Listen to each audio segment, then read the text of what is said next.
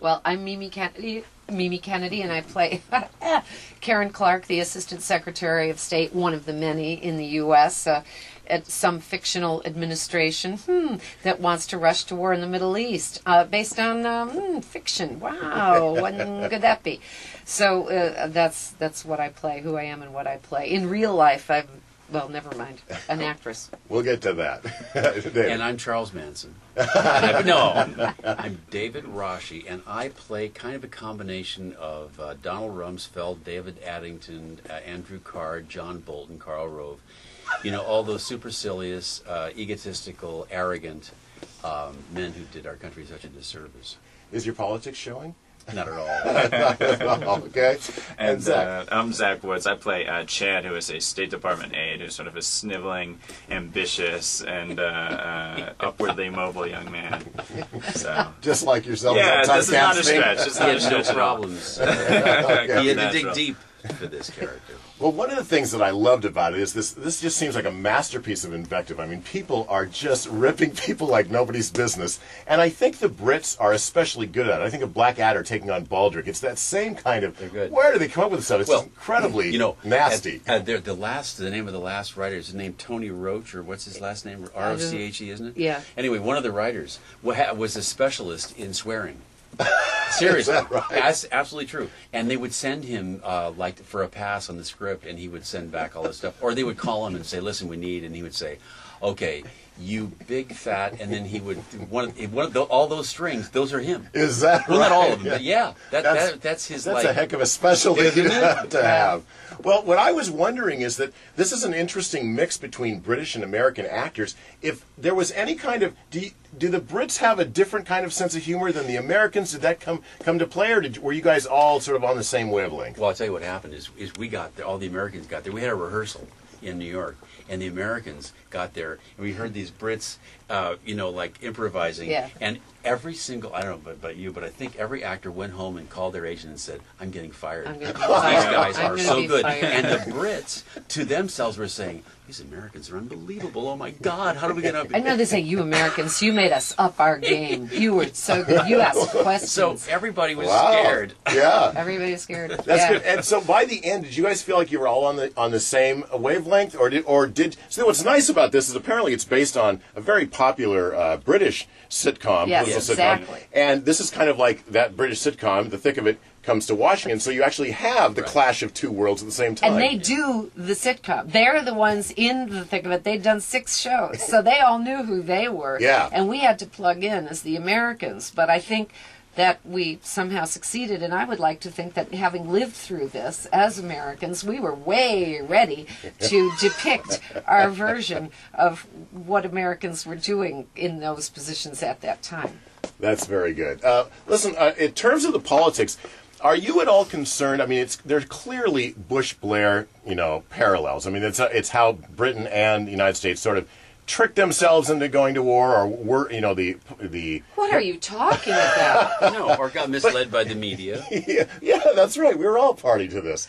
But here's my question: Do you feel like there's a danger that it may become dated? After all, we we've elected a new president. You know, Hope reigns uh, supreme. They were, they were afraid, and it's just the contrary. Yeah. Because you know all this stuff is coming out. We're finding out more now. I mean, everything that we suffered under, and everything we thought might be true, we're now finding out is true and in spades. I mean, all this stuff is coming out about Donald Rumsfeld and his biblical exhortations at the top of his military, uh, uh, right? Just the other briefs. day. I mean, please. And I mean, all the all the, the emails are coming out, and uh, the whole thing about torturing people, you know, 180 times, so that they will say what we want to. And I mean, what is this? Russia, China? I mean, that's what we were doing. It's it's you know, and so this is extremely apt. So, for you, David, in particular, Yes. I mean, you are playing the embodiment of people or someone who you don't exactly aspire to be. Was that more fun for you, trickier? Did you feel like you were, were you trying to to ramp up the negativity or the positivity? How, how did you play your particular negative role in your mind? Well, let's just start with the fact that we had a script. Okay. Right. So there were a bunch of words that we had to say. So so it's not like I like I chose to say things that were you know. I, mean, I heard, and we'll get to this, that Yeah. uh, there's a lot of improvisational work, at least behind the scenes. But anyway, continue. Well, and also I've been studying uh, Donald Rumsfeld. I mean, you know, he is imperious, arrogant, uh, condescending, belittling. You're right. Any of these people, you see them in in the uh, Senate hearings. Condi Rice, they talk over you. You know, they don't listen. They try to bully. They're bullies. And uh, my dad was kind of like that. No, my dad. That's true. There's a little of my dad. a role model. He was Oh, a little yeah. bit. He was tough, and also, you know, Rumsfeld is from Chicago, and and his Rumsfeld, you know, so there's a German, and I have a German background. no, and from where I come from, there's this, there's a kind of a stubborn German. Uh, nope. Well, don't you? Nope, not going to. Nope. Well, don't you think? Nope. Nope. Nope. You know, Yeah. I'm familiar with Ooh, that. my and husband's that's family. everybody's family. Now, Mimi, I know you're very political, and you, you've sort of been active in liberal politics, and you got to play. Did you have a role model in mind for your character? Because you're sort of the uh, the leading left figure, I would Yeah. say, in the movie. Unfortunately, there really sort of wasn't one in the United States at the time, so I had to sort of pretend it was I Yeah. who had been in that position. What would I have done? That's really the way that I had to look at it. So, so you had no uh, maybe Hillary Clinton or Nancy Pelosi kind of uh, you know floating around Not in your Nance. head. What can I tell you? Mm-mm, no, no, Nancy wouldn't have done it for me psychologically to get there. Okay. Uh, Hillary a little bit reminded of the healthcare wars and how she had to put a brave face on being absolutely slammed and and you know taken out of that debate. But really, honest to God, in my progressive friends whose voices were bravely uplifted throughout the nation in every church basement I have visited, and they acted with dignity and as if they had the power of a citizen to stop a war. And I was really thinking of them if they had ever uh, been ambitious enough to get into the to the State level Department or been of the right age. There's a woman that I know who did resign from the State Department, and I remember her telling us of the letter she had written. She wrote, resigned very early on, and she had been in the military. Quite a no nonsense woman, and I was kind of thinking of her too. Very good. And how about the Sniveler? the sniveler. For me, well, one thing uh, when we started uh, rehearsing, Armando, the, uh, Armando said to us uh, was that The writer, uh, director. the writer director, right? Uh, he had said that um, uh, uh, Washington is like Hollywood for ugly people, um, and I thought that was helpful to me to think about it in terms of like all of the sort of nasty, insecure actors who I've ever met at any auditions, people who are who, who talk to you purely to find out what you're working on and what's going on. You know, this sort of writhingly uncomfortable but also very aggressive uh, auditioners who I've encountered. I sort of tried to draw on, on all those unpleasant experiences.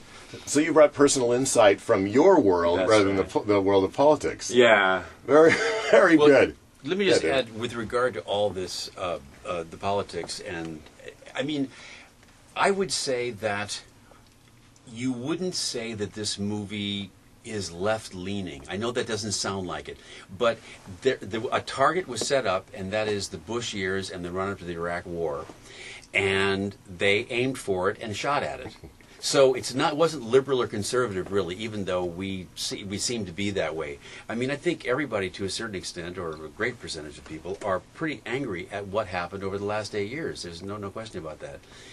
Um, but the other half of it is that that in the process of it, that these guys like Armando Iannucci and the other writers are, you know, they have the DNA of the Goon Squad, you know, of, of Monty Python, D- Peter Cook and Dudley Moore. I mean, that that's the legacy Yeah. that they, you know, with Spike Milligan that they, Yeah.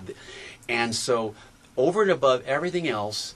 It's funny as hell. Yeah. It is Yeah. just a hysterically funny movie. It's got Twitting the proud, really. Twitting the proud. You know, I wanted to add the thing about it not being partisan political.